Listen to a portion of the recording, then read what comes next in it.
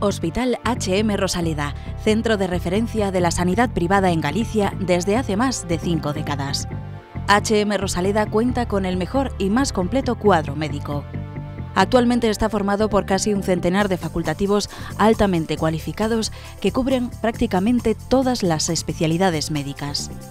Además dispone de unidades específicas totalmente punteras como la unidad antitabaco, neurología cognitiva o neurofisiología.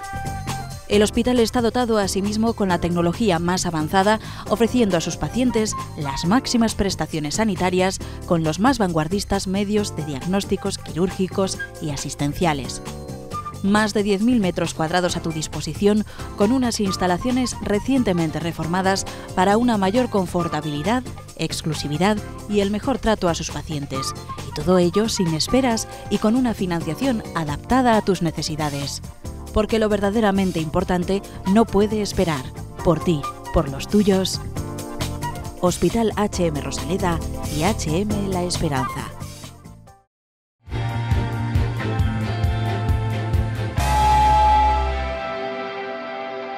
¿Qué tal? ¿Cómo están? Estamos nuevamente en Falando de Saúde en Correo Televisión y la verdad es que yo estoy muy, muy, muy entusiasmada con, este, con el tema de que vamos a tratar hoy. Digo entusiasmada porque cuando empecé a leer sobre él, decía, bueno, no puede ser, esto es una maravilla.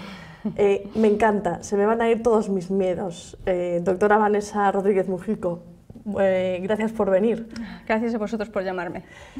El tema que vamos a tratar no es otro que el de la monitorización, vamos a ver si lo digo bien, neurofisiológica intraoperatoria. Perfecto. Bien, a mí la primera vez que me propuso hablar de este tema dije, ¿esto qué es? Y me imagino que nuestros espectadores están un poco más o menos como yo hace unos días. ¿En qué consiste esta prueba?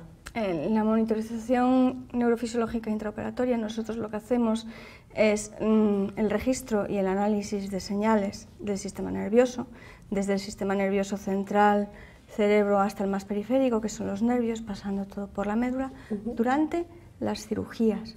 Entonces, somos un sistema de ayuda al cirujano a la hora de tomar decisiones, un poquito como el park assist que llevan los coches, que si te acercas a una pared una columna pita.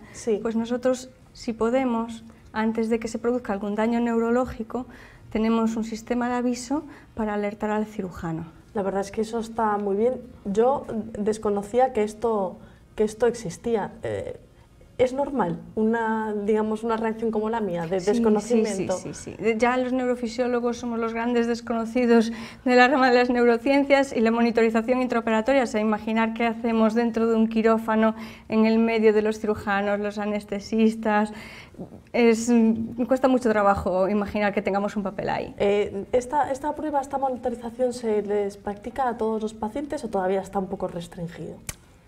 En principio, ahora se monitorizan solo las cirugías más complicadas, pero el objetivo es que se monitoricen todas las cirugías en las cuales esta técnica sea aplicable.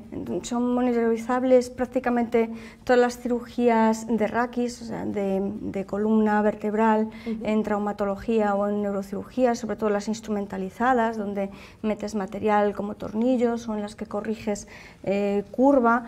Eh, son monitorizables muchas de las neurocirugías, porque puedes dañar estructuras y también no solo para evitar el daño de estructuras, también podemos hacer un mapeo cerebral, ¿no? ver dónde está el área motora de la mano, por ejemplo, o por dónde pasa mm, el área del lenguaje, o esa cirugía famosa en la que están tocando el violín con el paciente despierto para ver que se conserve toda la vía aferente para la movilidad de las manos, que es un juego muy, muy, muy preciso como Exacto, sí, es que además tenemos aquí una, una diapositiva a mí me resulta, vamos, imposible. Eh, y, eso que, es eh, real, eh, pero, o sea, están interviniendo al paciente, le están extirpando un tumor cerebral y ahí se supone que hay un neurofisiólogo controlándolo todo junto al, anestesista y el resto del es equipo monitorización de paciente despierto. Por ejemplo... Cada uno está con la cabeza abierta. Sí, sí difícil la neurocirugía. Pocas, pocas, pocas, porque algunos se pueden hacer a través de la nariz, es verdad, efectivamente. pero sí que lo hacemos con control intraoperatorio neurofisiológico. Incluso en el área del lenguaje, Personas que hablan más de un idioma los tienen guardados en sitios distintos del cerebro. ¿Ah, Hay que sí? mapear también los distintos idiomas, por ejemplo, para profesores o para intérpretes. Bueno, me parece Increíble. increíble, Ciencia ficción. increíble, sí. ¿Cómo se hace esta, esta técnica? Es decir, bueno, ¿va conectado al, me imagino que algún aparato? ¿Cómo es esto, doctora? Se hace a medida de cada paciente y a medida de la cirugía. Entonces, nosotros lo que hacemos es, a grosso modo, colocar eh, electrodos en la cabeza del paciente Sí. y después en las extremidades, en la cara, en las zonas que no- nosotros no sean elocuentes de lo que se pueda lesionar. ¿no? Por ejemplo, si tienes una lesión de la médula que pueda afectar a la marcha, dejas de percibir las señales en los pies.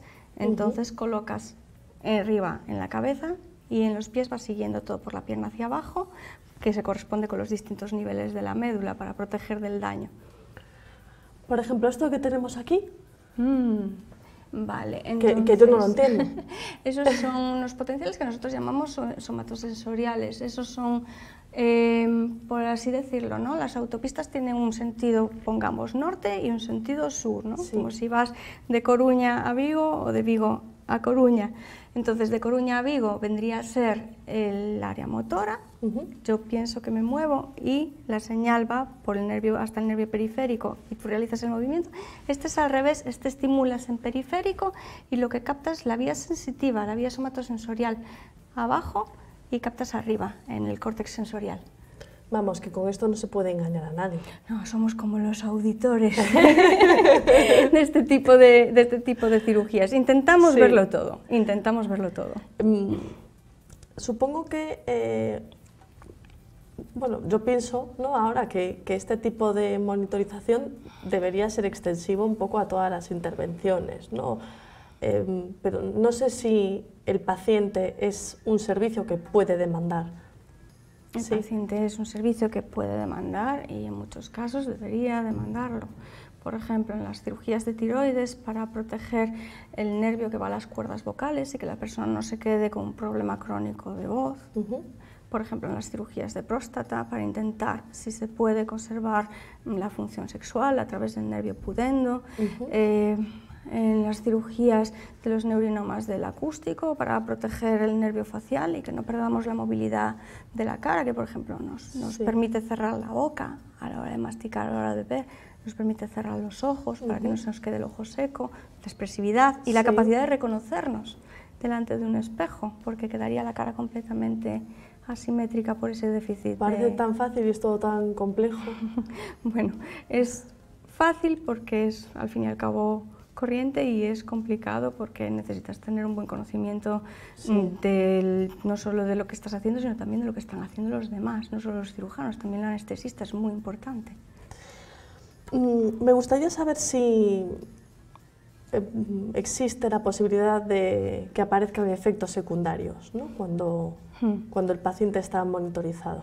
No, a ver, nosotros lo que, lo que hacemos es todo dentro del quirófano, es todo muy controlado. Sí. Pueden quedar marcas en el sitio donde se colocan los electrodos, por ejemplo. Simplemente eso. Sí, o en, las, eh, mm, en los mapeos corticales puede haber riesgo de crisis epiléptica intraoperatoria. O sea, es- al estar estimulando corteza, mm, vamos, es muy, muy, muy, muy excepcional. Yo a día de hoy no me ha pasado nunca, por suerte, pero estamos perfectamente preparados y tenemos medidas dentro del quirófano para actuar si eso pasa. Eh, mm, también querría saber de qué manera se, se reducen las lesiones neurológicas ¿no? y en consecuencia los gastos de- derivados con la práctica de, de la monitorización. Mm. Nosotros al estar registrando distintas estructuras, mm, nos es posible avisar al cirujano antes de que se produzca un daño irreversible. También hay que entender que esto no es siempre al 100%. Muchas veces vemos el daño después de que se haya producido.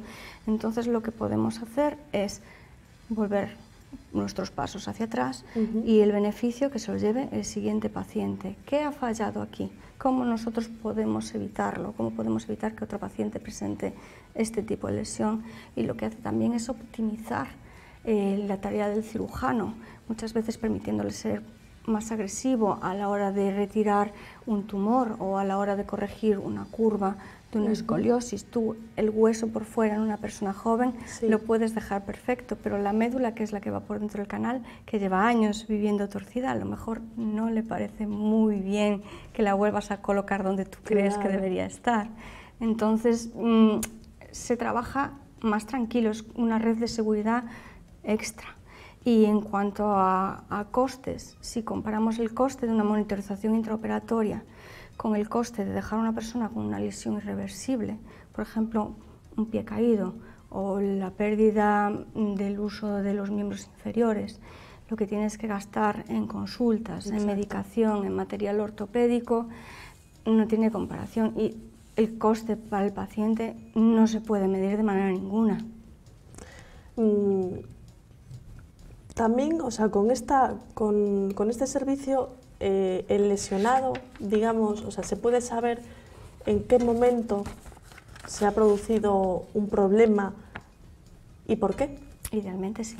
¿Mm? Idealmente sí, porque llevas un registro de lo que está haciendo los de lo que está haciendo el cirujano en cada paso de, de la cirugía y tú ves las señales porque para eso la estás monitorizando. Nosotros tenemos unos signos de alerta que cuando los vemos mm, alertamos al cirujano para que pare de hacer lo que está haciendo, si ha hecho alguna maniobra que pueda ser la causante de esta lesión, revertirla, darle una oportunidad al sistema, al organismo del paciente para recuperar, si es posible, porque a veces no es posible. Por ejemplo, a veces si el nervio está tan embebido en el tumor y tú el tumor te lo tienes que llevar porque está en riesgo la vida del paciente, pues se siente mucho, pero la vida del paciente es lo primero. Ahora nosotros vamos al máximo, vamos a que conserve la vida, la función y que no eche nada de menos después cuando se despierte. Eso, eso es una maravilla. ¿Desde cuándo se hace esta, esta prueba? Porque eh, le, digo lo mismo que al principio, yo no sabía que, que existía, sabía que había bueno, pues un control en, en quirófano, pero sobre todo por, por, parte del anestesista y de todo el equipo que forma... Sí, tenemos que, jugar todos con todos. Pero de verdad que yo no sabía que por algo ahí que pueda saltar, ¿no? se le pueda avisar al cirujano y decirle, pare. Tú párate a pensar que el cerebro lleva corriente, ¿no? O sea, es electricidad, es un sistema eléctrico. Entonces tú, de la misma manera que puedes medir con un amperímetro el potencial de acción en un cable, en un tramo, en otro tramo, tienes que poder hacer lo mismo en el cuerpo humano de una manera u otra. Estamos hablando muy para entendernos. Claro. Pero si es corriente tiene que ser medible. Lleva haciéndose muchos años y se va a hacer cada vez más porque hay dos sentencias del Tribunal Supremo donde le preguntan al cirujano por qué no realizó monitorización neurofisiológica intraoperatoria y por razones legales como la medicina está siendo cada vez más mm, exigente en ese aspecto, creo que es mm, una seguridad extra que se va a pedir cada vez más. Yo creo que yo llego un poco a la conclusión de que con esto ganamos todos. Gana el paciente, gana el profesional y gana también el sistema. Sí, ganamos todos porque tenemos un sistema mucho más seguro y auditable. Claro. Que es muy importante también. O sea, es importante no fallar, pero también cuando se falla es importante saber por qué se ha fallado, para que no se vuelva a repetir el mismo error. Pues con esto aquí lo dejamos, doctora, no tenemos tiempo para más, pero yo creo que ha quedado lo suficientemente claro para que nuestros espectadores, e incluso yo misma, sepamos que, bueno, si, si por desgracia nos tenemos que someter a una intervención, que mejor que no sea así, pero... Siempre mejor que no. Pero bueno, sabemos que podemos solicitar eh, este y uno va a entrar a quirófano mucho más, mucho más tranquilo. Eh, eso se supone que es nuestra misión. Les recuerdo que la doctora Vanessa Rodríguez Mujico está en HM La Esperanza, forma parte del grupo HM Hospitales, quien patrocina este, este espacio. Y hasta entonces solamente les puedo desear que tengan una muy feliz semana y ya saben, nos vemos el próximo día aquí con más temas, con más invitados en Falando de Salud. Así que hasta entonces nuestro mejor deseo, salud y suerte.